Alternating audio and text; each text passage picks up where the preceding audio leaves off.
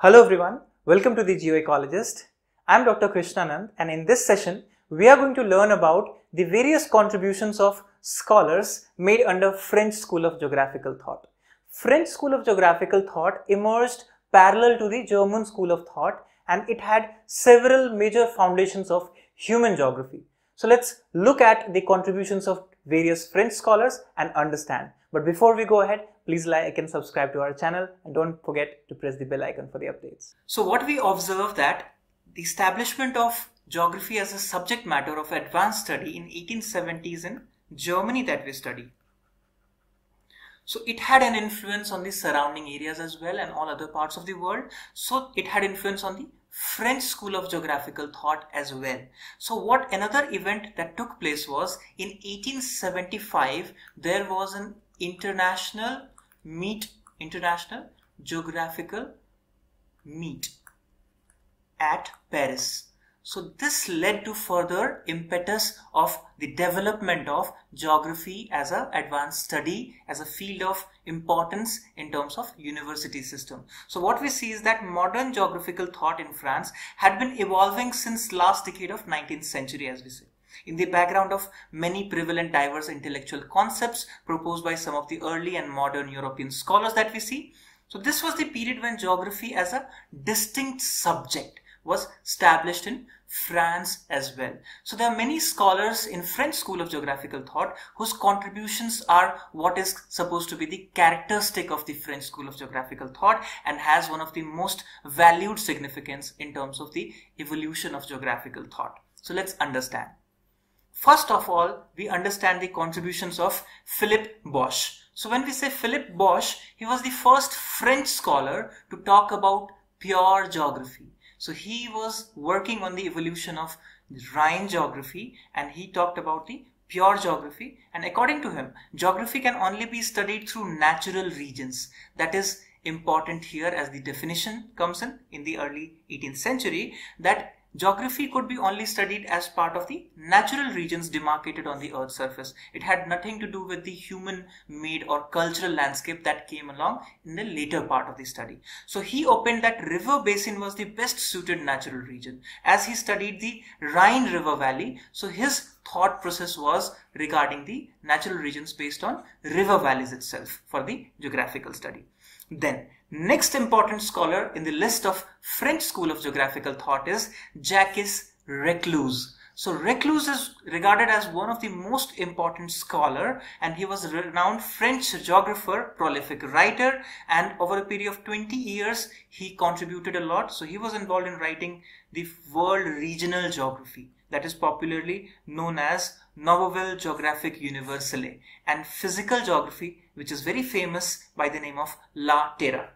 So La Terra and World Regional Geography are two of the greatest works in physical geography if you see the contributions of Reclus. So this particular work that is World Regional Geography dealt with description of geographic features like rivers, mountains in various countries across the continents and their impacts as well. So that is where the contribution of Reclus matter in terms of French school of geographical thought. Furthermore, the contributions of Frederick Laplace so Laplace is one of the renowned sociologists, but he worked in the light of geographical determinism as a concept. So he studied social structures and social orders of European societies under different physical conditions. So very interesting deterministic concept that he said that habitat and society had a relationship. It means the nature of the physical condition of habitat had something to do on the societal relationship. It means that each distinct habitat had developed a unique social order and structure. So he related physical conditions, the geographical conditions to the social order and social structure. So his work is related to place work folk or habitat economy and society very famously. So in which he explains that environment occupation and social types had to be studied in association with one another. So it means it was to be studied together in interrelation with each other. So that is his work called Place, Work and Folk. Now, one of the most important figures for which French school of geographical thought is known is by the name of Vidal de la Blache. So Blache is regarded as father of human geography. His concept is one of its kind in terms of human geography. Although we remember the concepts of Ratzel as well, but remember father of human geography is Vidal de la Blache as considered by the world throughout because of this particular phenomena that is possibilism. So when he gave this idea of possibilism, it was a change in the entire concept running from ancient to this particular time period. This changed the way geographers thought till that time. So his regional geography of the world, that is geography universally, geography of France, that is Tableau de la Géographie de la France, and geography of Eastern France, that is France de la East. So what we see here is three kinds of work that is basically one is on the regional geography of the world that is talking about the geography of this entire universe in terms of French. So geography universally, then we have geography of France, specifically to France, and then furthermore, Eastern France. So what you see here is world, then you see a country level work, and then a regional level work. So scale was very interestingly aligned in his all work. Then further what we see is the concept of pays that he defines for the first time. So his geographical approach was field studies in France through which he developed the concept of pays. So what is pay? PAYS basically means the regional units of study in rural France which are having unique agricultural patterns due to its specific soil, water supply, economic speciality, people's demand at surrounding cities. So he did not say that only soil. He also looked into people's demand, economic speciality. So all those things that make up this regional unit. So human centric approach of this regional unit was interesting as pays. Many times this is also referred as paysage. So there are places where you can find that paysage is written. So basically we are talking about the regional units. Then each pays had unique settlement pattern. So each of those regional unit has unique settlement pattern that is considered as particularly milieu the concept of immediate surrounding in the compact or the scattered way of settlement. So that's important to remember. Then uniqueness of pays maintained over generations. So from one generation to the other generation, coming along the ages with specific interaction between the man and environment relationship, this led to a particular unique character. So that is important that we understand that this unique character is not just in just less of time. It has to be over ages over generations of practice. So his most impressive work that was principles of human geography. So principles de geography humaine which was published by de Martonne in 1923 after the death of Blache. So actually he could not live to see his work published but further his student Emmanuel de Martonne in 1923 published his great work that is Principles of Human Geography in which all these concepts of pays, of milieu, of furthermore concepts of territorial unity was explained.